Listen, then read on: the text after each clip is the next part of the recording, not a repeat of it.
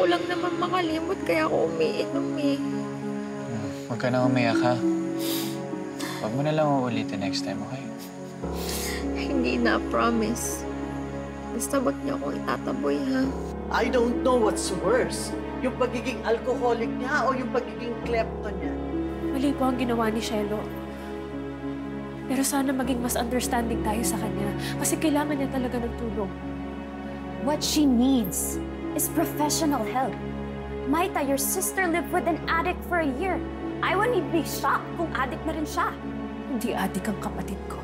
Sana na nga lang itinuloy niyo na yung kasal niyo. Ewan ko ba dito kay Alex? Bakit nagpa-tempt at nakipag one-night stand dun sa bridesmaid mo? Oh, I'm sorry. No offense meant, ha? Tita! Oh my goodness! Okay, Maita. I want your sister out of my resort. Ma, please. Sige. If you want it your way, ma, so be it. Pero kung aalis sila, sasama ako.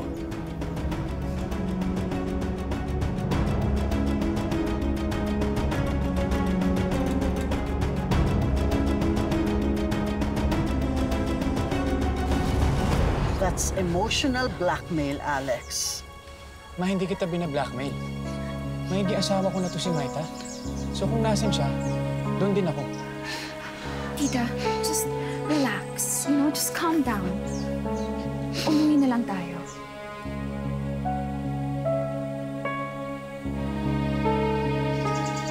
Come on, Tita, let's go.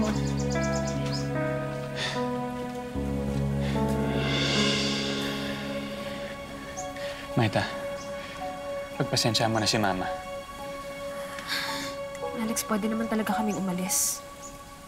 Kung iniisip niyo na problema si Shelo, kung ayaw niyo na sa amin dito, hindi namin ipagpipilitan yung sarili namin. Maita, huwag mo nang patulan yung mga sinasabi niya. Alex, hindi lang naman yun eh. Baka nga mas okay na lang na dumistansya kami kaysa, kaysa nakikita ko yung nagtatalo dahil sa akin, dahil sa amin. No, hindi kayo aalis dito. Aayusin ko to. Oo, hindi pa tayo kasal. Pero Maita, iisa na tayo. Pamilya na tayo. Shelo, ikaw ako. I'll stand by your side no matter what. Thank you, Kuya Alex. Akala ko mapapalayas na ako kanina.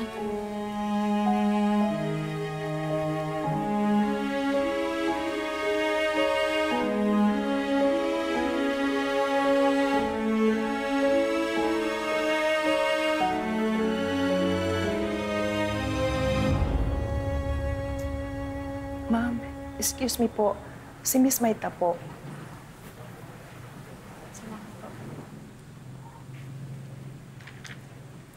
O ano, masaya ka na ba? At mawawalan ako ng anak dahil sa'yo?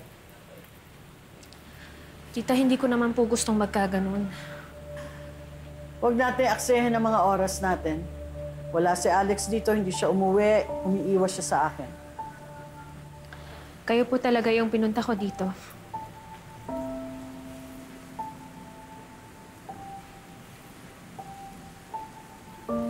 Bayad po sa wine na kinuha ni Shelo. Pasensya na po kayo, kulang pa yan. Pero, huhulugan ko na lang po. Sorry po ulit sa ginawa ni Shelo. Alam mo, hindi ako masaya sa mga antics ng kapatid mo. But I have no choice but to let you and your sister stay here. Pasalamat ka na lang hindi ko kaya mawala si Alex sa akin. But to tell you honestly, hindi ko gusto itong setup natin na ito.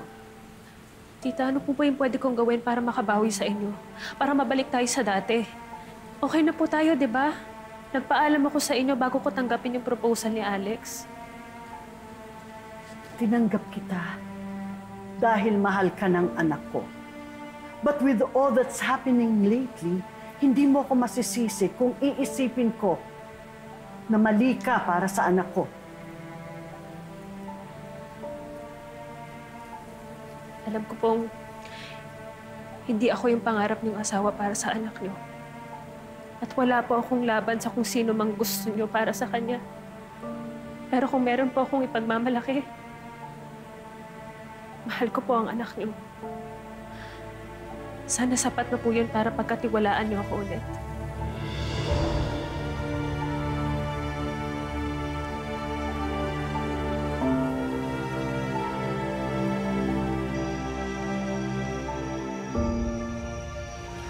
Kasi pag nilalagay niya ako sa ganong sitwasyon. Mahal ko siya, pero mahal ko rin si Maita. Hindi ko gusto yung pinapapili niya ako sa kanilang dalawa. Hayaan mo na. Hindi na naman pinalis, di ba? Okay na yun.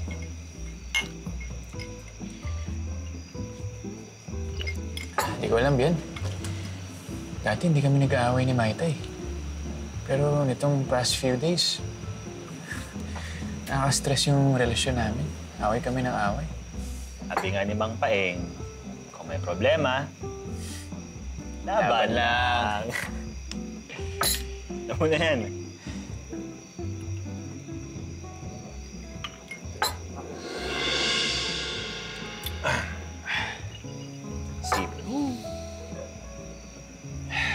Tamaan ka.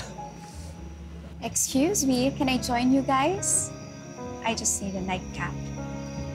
Uy, si tatay nag-text. Uwi na ako, ha? Ah, Si Judy, uwi na ako, ha? Ingat yan. Gusto night. mo ako kay Mang Levy, ha? Mm. O, ingat, ha? Mm.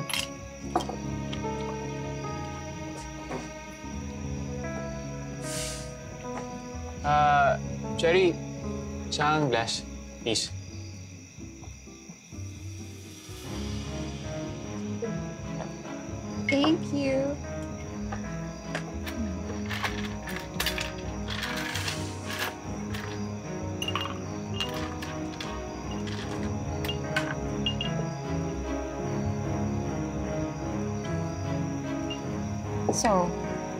What are we drinking to?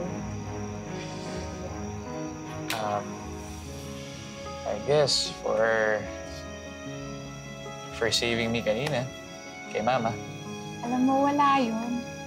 You know naman, mahal ko si Tita. And I do anything for you. Alam mo, kailangan mo talaga bumawi sa kanya big time. Sumama ang loob niya.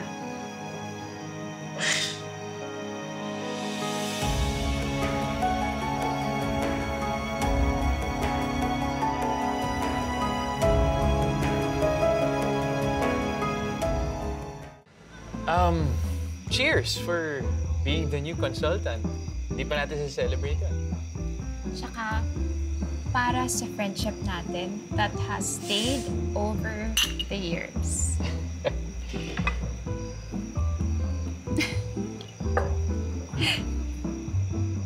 Um, ano pa ba? Uh, think of something more. Ano pang pwede natin i-celebrate? Meron ako. Para sa mga issues mo sa buhay. Bakit ba lagi ka nalang problemado kapag ikakasal ka na, ha? Ouch. Sa pula ko doon. Cheers!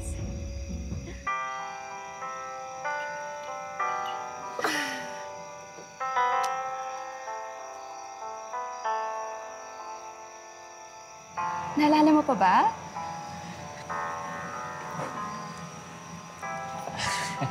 Sige na. Ah, hindi ako marunong Sige na. Let's dance.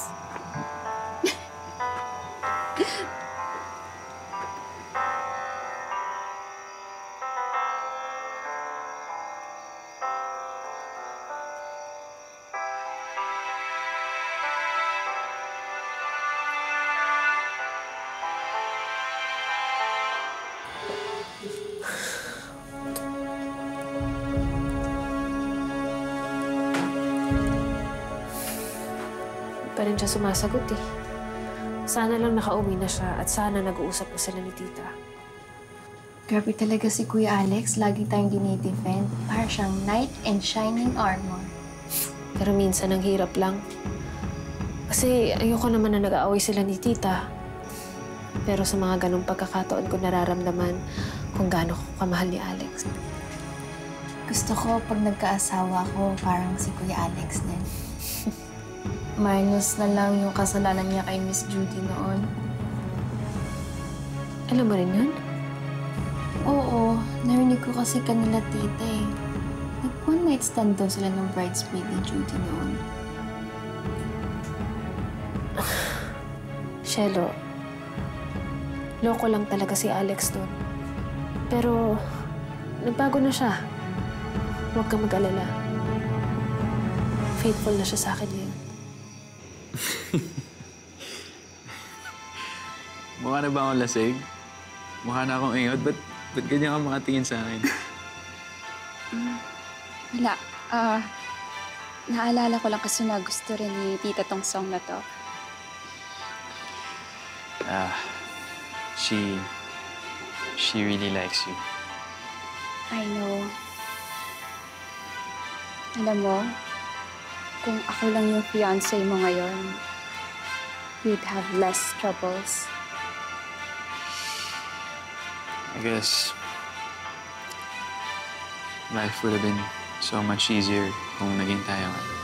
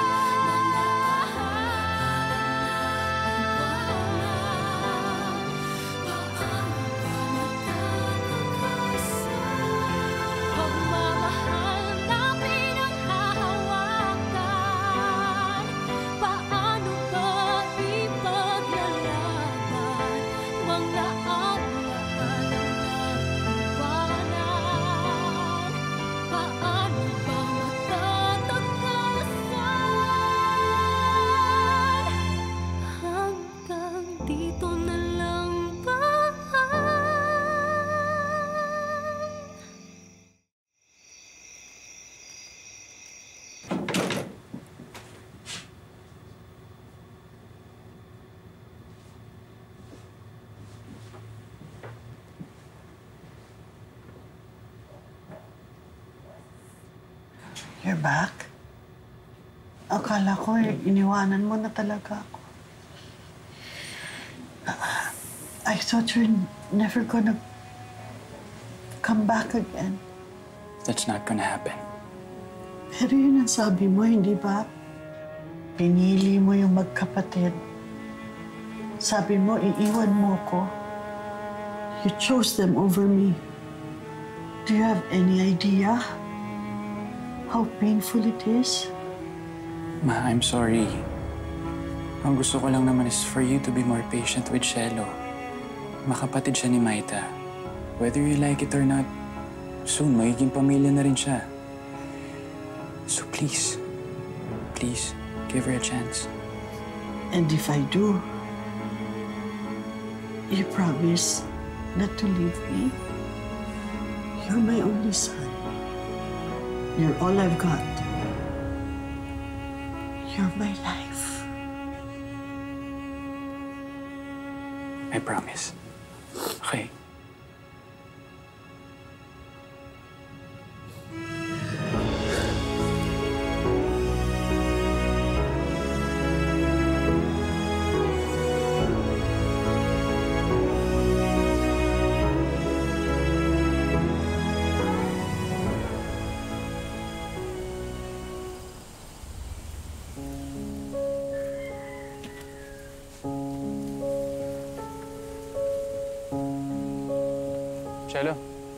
Mga kailangan pa ba dun sa loob? Ewan ko. Ha? Ako nang bahala.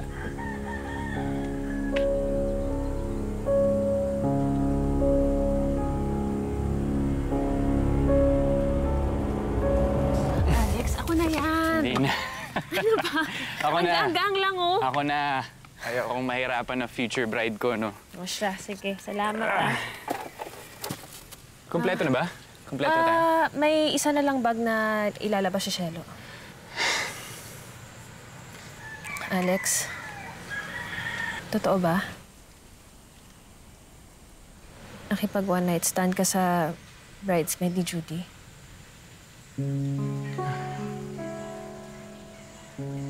How did you? Narinig ni Shelo kay Tita at Judy.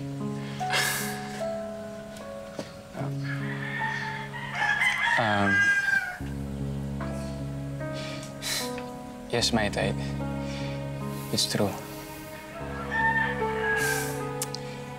It's, it's not something I'm proud of.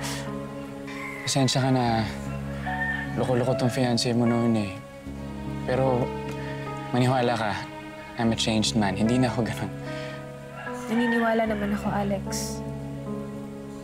Yun nga din yung sinabi ko kay Shelo eh, na nagbago ka na.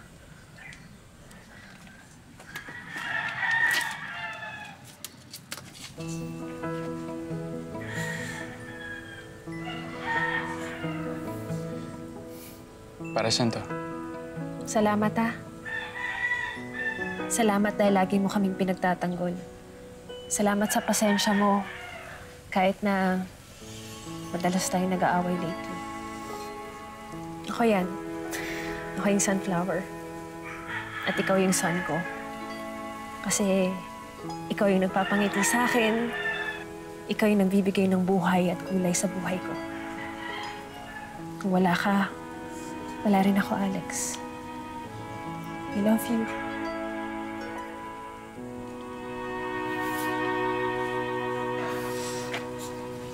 I love you.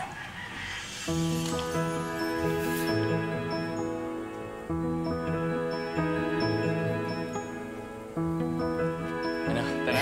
Tara. Nandun na rin ata sila sa site. Sige, sige. Sige, balik mo na yun. Tin mo na.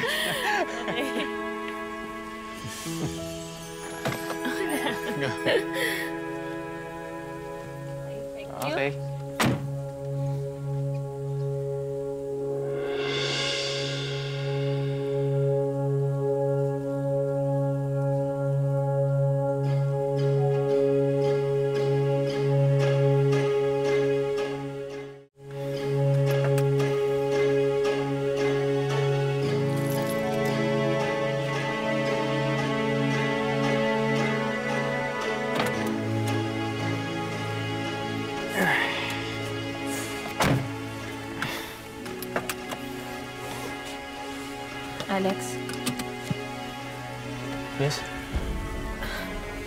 Wala, nakalimutan ko na.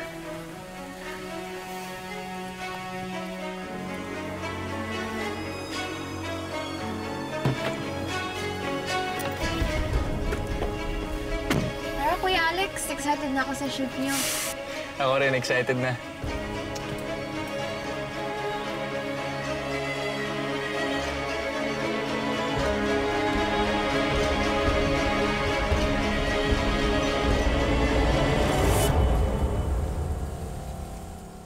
Sige, ganyan gawin natin, ha? Oh, nasan pa yung ano Hindi, mo? halika. Pakilala kita. Shit. Congrats pala ako. May kasal ko. Thank you, thank you. Ah. This is Maita, my fiancé. Oh, hi, Christina. Nice to meet you. Kapon pa sila dumating eh. Kamusta stay nyo? Okay naman. Ah, salamat pala sa room upgrade ah. Anyways, di na ba heartbreaker tong groom mo? Hindi, hindi no. Hindi na dati. Alam mo ni Maita yun, dati yun. Maita, alam mo ba dati, nung college, nagdi-date kami nito. At nalaman ko, tatlo pala kaming dinidate niya. Grabe ka talaga, Mr. Monter. Anyways, ah, sorry. Hiramin ko muna yung groom mo, ah. Okay lang? Magpipicture lang kami ng solo photos. Tara, Alex, let's go. Ah, sige.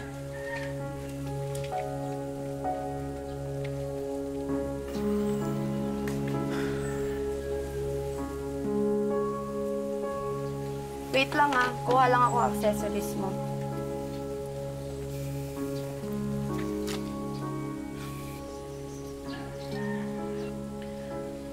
Oo, ate. Ba't parang di ka naman excited? Ate, best friends tayo, di ba? No secrets. Shelo. Nakita ko to sa kotse ni Alex kanina. Hindi sa akin to. So feeling mo may ibang babae si Kuya Alex? Feeling mo bumalik na siya sa pagka-player niya? Ewan ko, Shelo. Hindi ako mapakali. Pero siguro naman may explanation. Nakausapin ko na lang siya. Wag! Ate, paano natin malalaman kung may tinatago talaga siya kung sasabihin mo na? What if alamin mo na natin kung kanino yung bracelet? Di ba? Bakit, Shelo? Sa tingin mo ba, May iba nga si Alex. Ah, sorry ate ah. Kasi kung nangyari na before, parang di na imposible. Kaya kung ako sa'yo, mag-observe ka muna.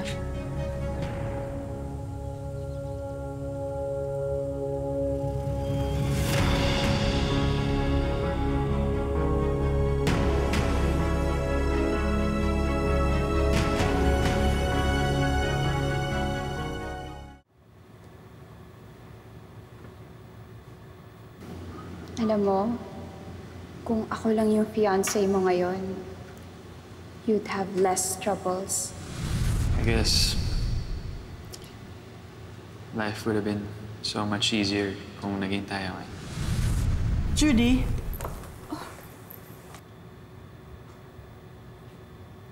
Tita, hindi ka ba manonood ng photoshoot ni Alex? no. I'm not needed there. Tita, tampo ka pa rin ba? You know, Alex felt bad too na nagtalo kayo. But please don't ever think that he'll leave you. Ikaw pa ba? Eh, hindi ka nga matiis nun. Ay, nako, Judy.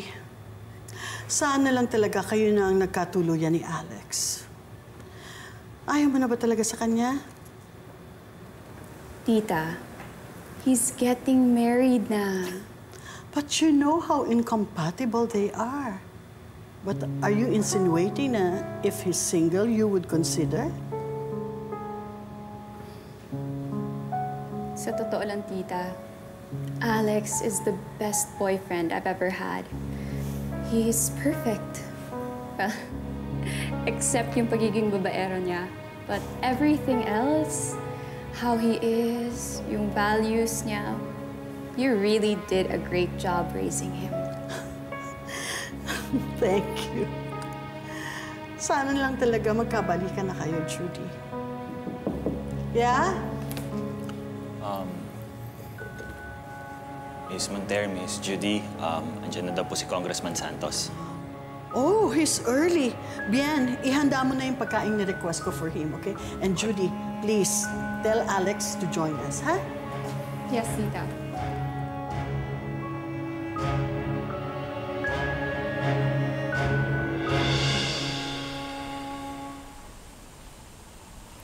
Smile. Maita, smile.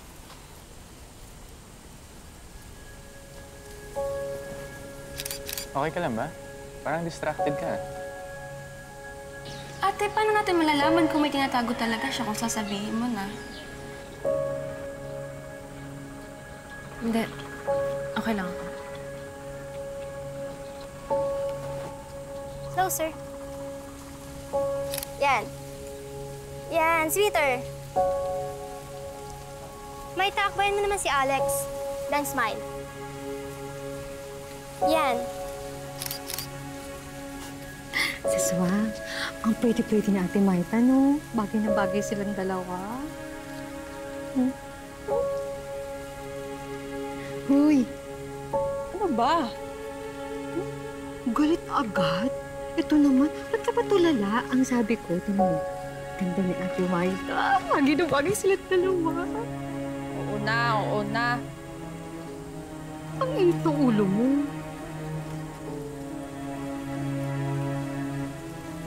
Wait, ganto. Let me show you. Ganto ah. Maita, ganito gagawin mo. Ay, napakagwapo pa naman itong groom mo. Ganyan, oh, smile ka sa camera, titingin ka sa akin din, smile, ganyan. Di ba, ang gwapo mo pa rin. Dyan, oh. Ano to? Nakikipag-flirt ka sa kanya?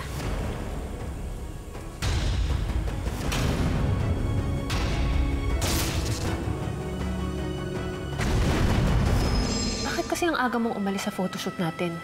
Tapos ngayon late ka pa sa meeting. Ano mong ginagawa mong mas importante pa sa kasal natin?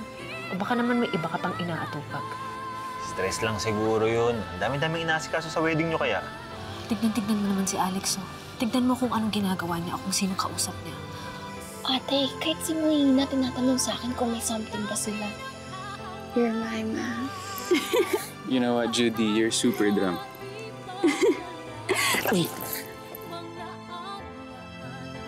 Huwag ka sana mabibigla sa sasabihin ko, ah.